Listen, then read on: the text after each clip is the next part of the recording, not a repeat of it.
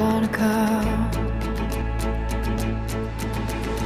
Look straight ahead, my face towards the sun.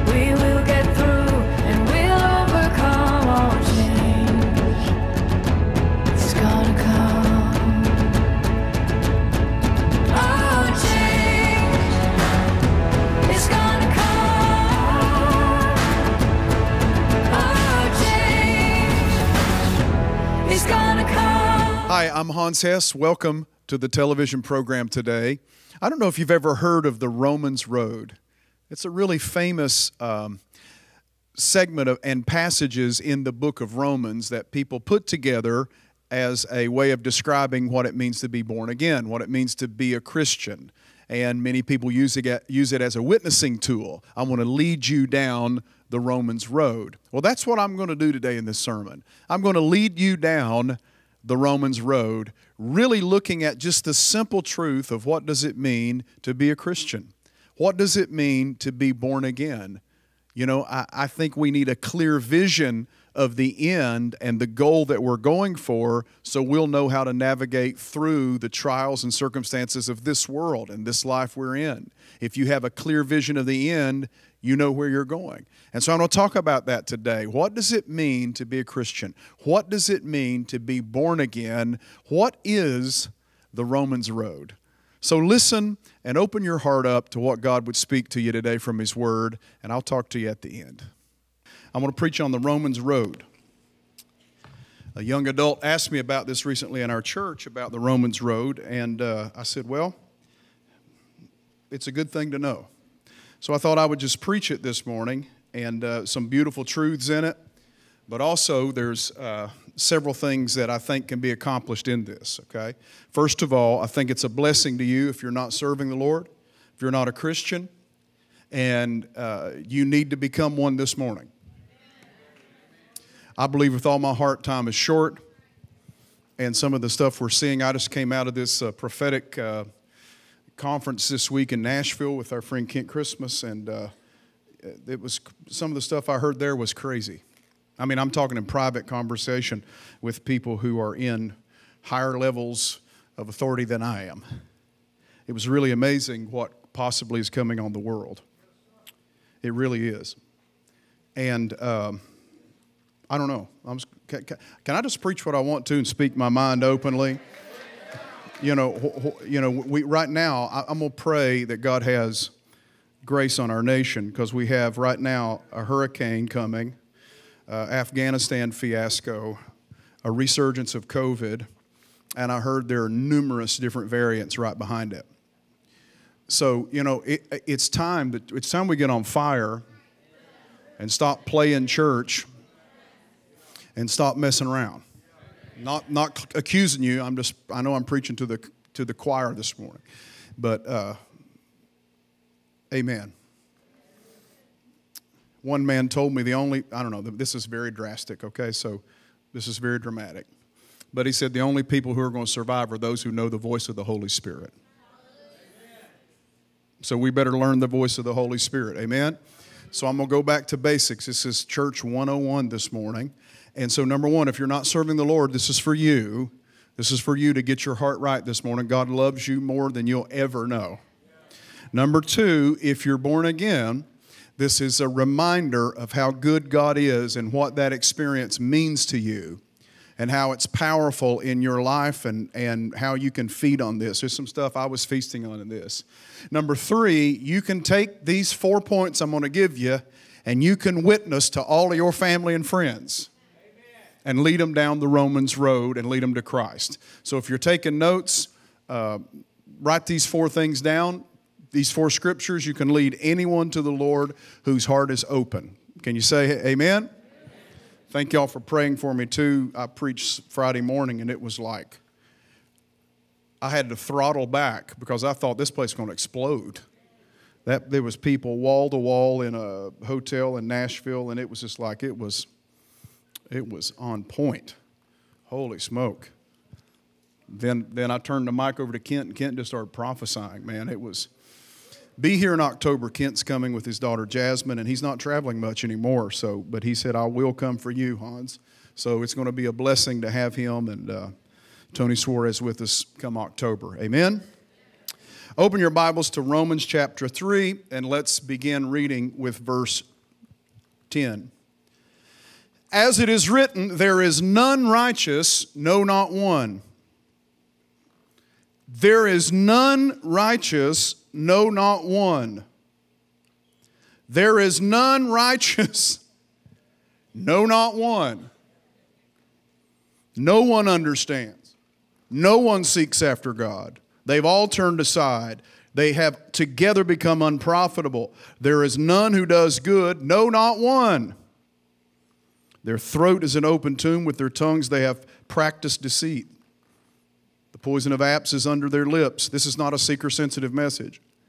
Whose mouth is full of cursing and bitterness. Their, their feet are swift to shed blood. Destruction and misery are their ways, are in their ways, and they the way of peace they have not known. There is no fear of God before their eyes. There is none righteous, no, not one. You know, ancient accountants used to write in their ledgers at the top of the page, memento mori, which means remember death, so that they could constantly keep before them the idea that they're going to face death and everything we're doing here is temporary. Also, Jerome, the great Latin church father in the fourth century, who lived in Bethlehem and translated the Hebrew and Greek scriptures into Latin, and it became the Latinized version of the Bible, the Vulgate, for centuries. Uh, we went there. If some of y'all have been to Israel with me, we went to Bethlehem and we visited the church of the Nativity. And then outside of the church, there's like this courtyard. And in this courtyard, there's a statue. And it says below Hieronymus, which is Jerome in Latin. And, at, and, and he's here in this, this big statue, but at his feet sits a human skull. And it was said that Jerome did all of his work with a human skull on his desk all the time to remind him of his own mortality. C.S. Lewis said if you read history, you'll find that the Christians who did the most for the present world were just those who thought the most of the next world. There's no way we can properly live life unless we have an understanding of the end. But the end and our understanding of what lies before us calibrates the rest of our life. So we know we're all going to face death one day. Unless Jesus comes while we're standing here living, we will all face death. And death is the great leveler, it levels the playing field. Ecclesiastes talks about it rich, poor, brilliant, not. Common, blue collar, white, it doesn't matter when you're laying in the casket. It's the great leveler of society and humanity. But we must have an understanding of where we're going when this life is over to properly understand how to live in this present world. There was a lady named Florence Chadwick in 1952. She tried to swim from Catalina Island to the mainland shore of California. She had been the first woman to swim the English Channel both ways, the first woman. But the morning she tried to swim off Catalina Island, the weather was foggy and it was chilly. And so there were boats on either side of her as she was swimming, and in one boat was her mother. And her mother kept telling her, Keep on going, you're close, keep on going. But she was tired and she was exhausted and all she could see was the fog, so eventually she quit and had one of the boats pick her up.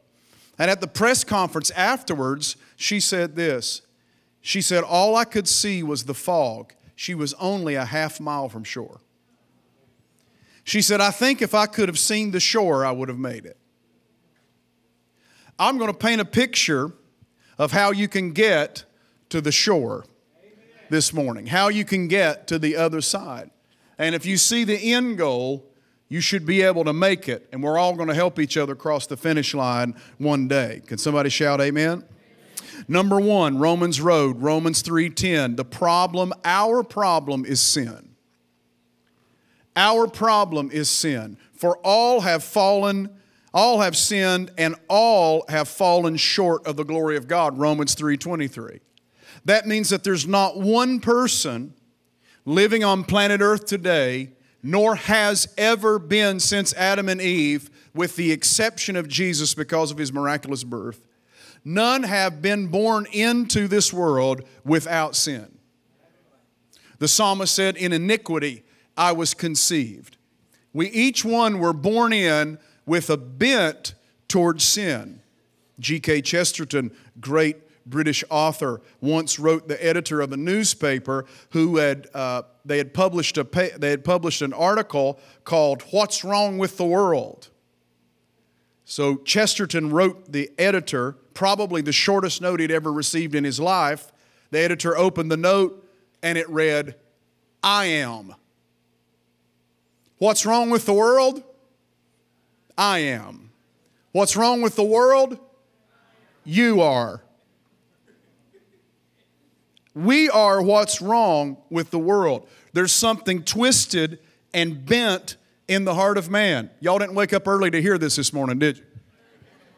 I'm going to get you out of the hole, though. Hold on. There's something twisted and bent in the heart of man. There was an ancient monk named Pelagius and Pelagius believed that when Adam and Eve sinned, it really didn't mean anything to those who would follow. It was just Adam fell and Eve fell, and therefore we're born without sin, and we just look, they're just a bad example for us. Well, the fathers shot that down. Then there was another morphed form of it later called semi Pelagianism, which believed that man sinned and he was affected by sin, but he's kind of morally sick, but he's not really dead toward God. And the fathers came and kind of shot that down. And they came to the real, uh, realization that the Bible teaches that we are born into sin and really man is spiritually dead to God. That there's a death process that has happened. Paul described it in Romans chapter 7. He said, For what I am doing, I don't understand. And for what I will to do, I don't practice that. But you know what? What I hate, that's what I do. He said in verse 18 of chapter 7 For I know that in me, that's in my flesh, dwells nothing good. For to will is present with me. I want to do good, but how to perform what is good, I don't find that. For the good that I will to do, I do not do, but the evil I will not to do, that I practice. We can disagree over this, and I've had people disagree with me, but I believe Romans 7 is a picture of a Paul who was not born again. A Paul who was struggling with sin as a man trapped in sin, as a man dead to sin. This was our penalty. When we fell, we became, as the fathers called it, incurvatus, bent over, curved over and bent so deeply. Martin Luther said we were so deeply curved on ourselves that we even bent the best gifts of God toward ourselves. And it all became for our sake, bent over by sin. There is a problem in the world, and it's called sin. Hallelujah. You can try to medicate it, you can try to counsel it, you can try to rebuke it, you can do but its sin is, the, is at the heart of man. Amen? Even in prison, prison is filled with people who have broken laws, but yet they find that the, the salvation of all that is when they receive Jesus Christ. And some of the most on fire people are in prison, just like walking around because they found the answer just like you found the answer. Can somebody shout amen? Sometimes I want to reach through the television and grab the news anchors by the lap of the neck and say the problem is sin. You can blame politicians and you can blame this guy or that guy or this lady or that lady, but the ultimate problem of mankind is sin. Well, number two on the Romans road. Our penalty then is death. What is the penalty of sin? Death. And it's spiritual death. Romans 6:23. For the wages of sin is Death. For the wages of sin is death. The first step is Romans 3:10, for all have sinned and fall short of the glory of God. Well, there's no there's none righteous before God, no not one. And the wages of sin is death. So, the issue with people today is no one is a sinner.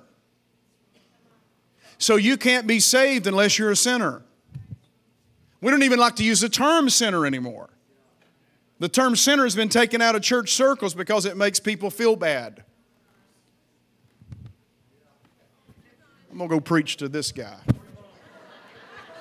Somebody shout hallelujah. Come on.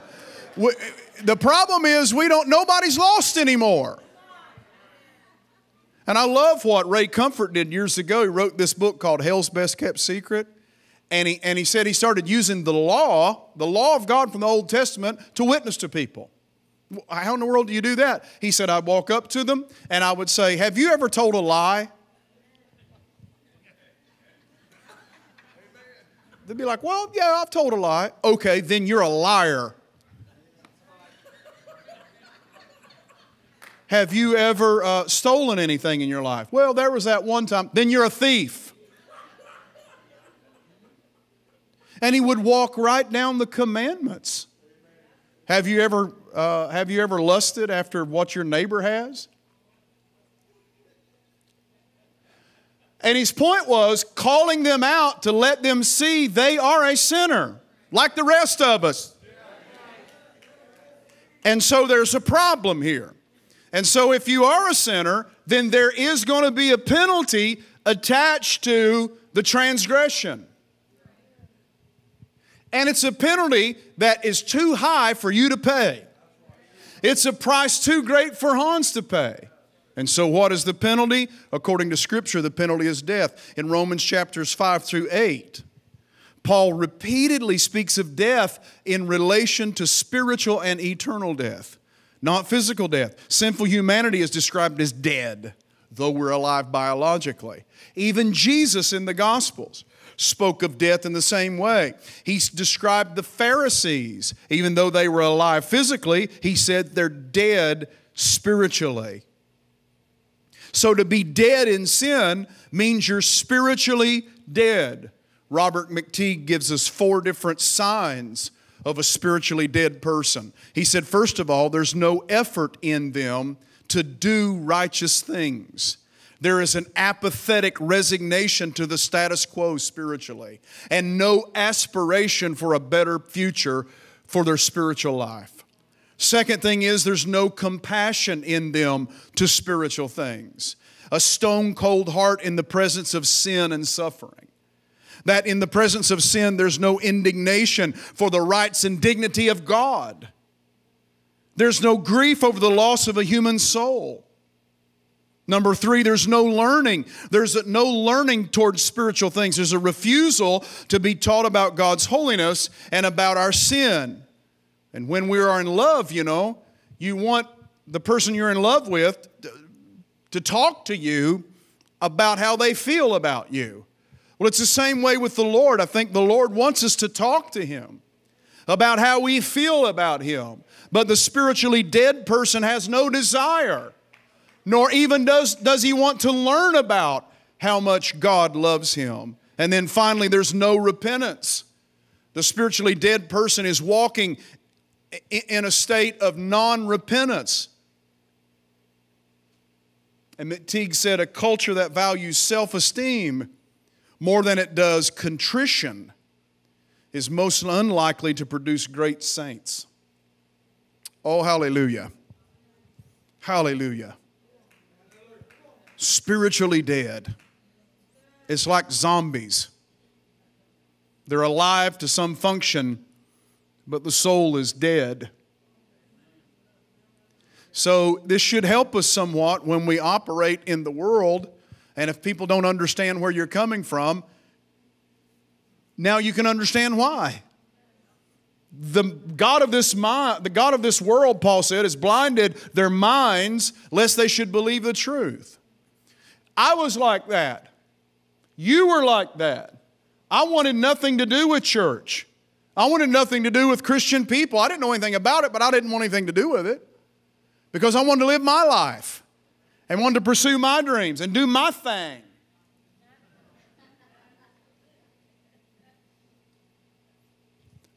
Our problem is sin, and our penalty is death.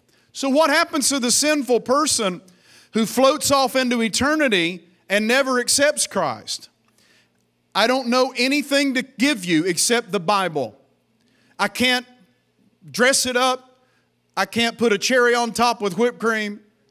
I can't make it more palatable except to say they go straight to hell. When they slip out from this world, they open their eyes in eternity and it's hell. And we've lost an urgency for that. We've lost a real urgency for that. God help Hans Hess. Help me.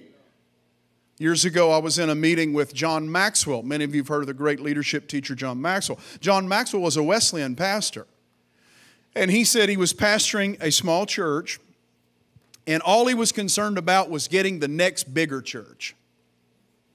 And he said, I wanted to impress my superintendent, and I wanted to, to climb the ranks and get a better position after this one. And he said, So there was a man dying in my church, and he said, I went to the hospital to visit him, and we talked about the weather, and we talked about sports, and we talked about family.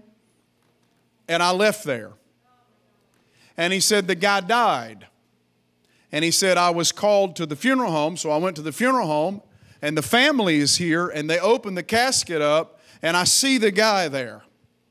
And he said, After I saw this guy, I was crushed, I was wrecked.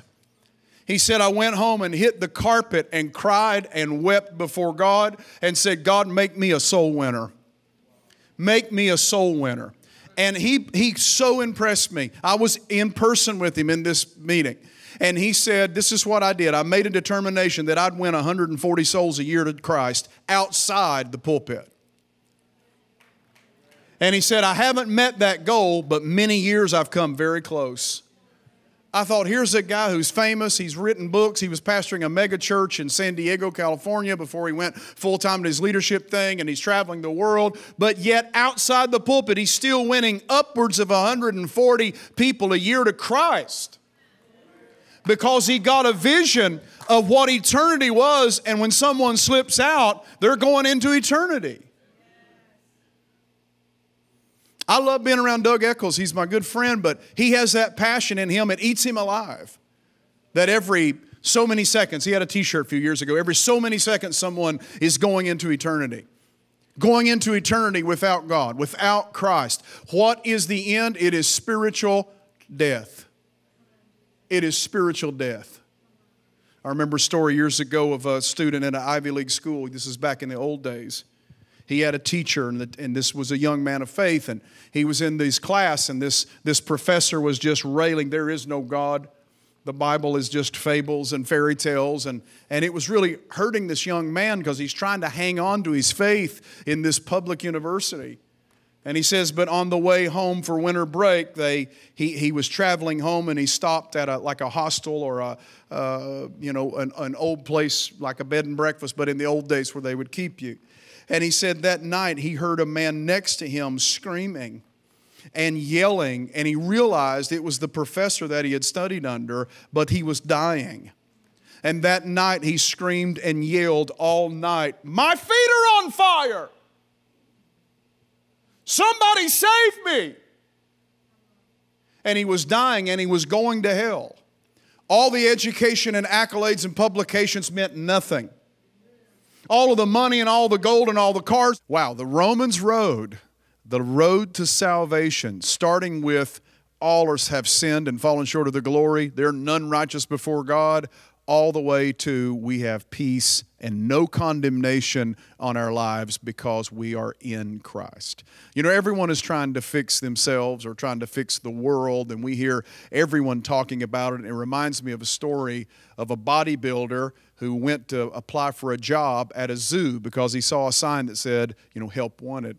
So he showed up and they said, well, actually, we're short on monkeys, so could you dress up in a monkey suit and uh, pretend to be a monkey and, and, and, we just need someone like uh, we're in a pinch? So he's like well this is strange. So so he dresses up in the monkey suit and you know and he does the he does the job. He, he swings from tree to tree eats some bananas and peanuts. And then finally, he gets kind of tired, and as he's swinging on the trees, he slips and he falls down into the lion's den. And he looks around and he sees this lion coming toward him, and he starts screaming and yelling for help. And all of a sudden, the, the lion whispers, Hey, shut up, dummy, or we're both going to lose our jobs. So it's just a stupid story, but, it, but it's really where we are in life.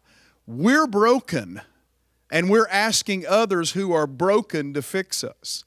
And neither one of us have the solution. The solution is in God. He's the one who came down and stepped onto the bomb site. I use that phrase in the sermon. He steps onto the bomb site and walks through the debris and picks us up and rescues us. The Bible calls Jesus the waymaker, the pathfinder, the forerunner. He's the one who came down, made a way, and went back to heaven, showing us the way to God.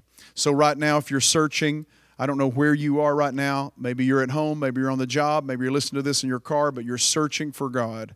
Just, just pause for a few moments here with me. This could be the greatest few moments of your life and just ask the Lord, say, Help me. Help me right now, Jesus. I need help.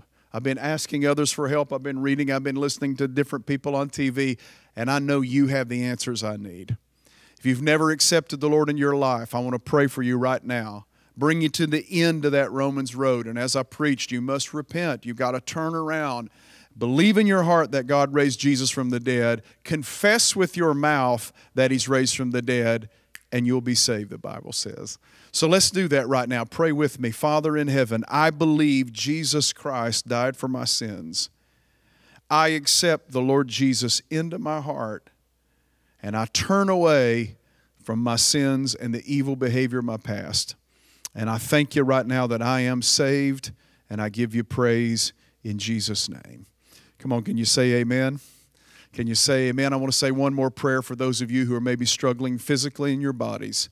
God can heal you. Father, in Jesus' name, I pray that you heal the people listening by faith. As they reach out to you, God, I pray you touch them right where they are and minister to them, God, by your power, doing a miracle in their lives. And I give you thanks for it. In the powerful name of Jesus, I pray. And all of you can say, Amen. Hey, find a, find find a church that's full of the Spirit. Get into the Bible. Read it daily. Listen to it daily. Somehow get into the Bible. Find some Christian friends that you can help that can help you grow and you can walk this road with each other, discipling each other, and you'll be strong in the Lord. Hey, I love you, and I'll see you next week.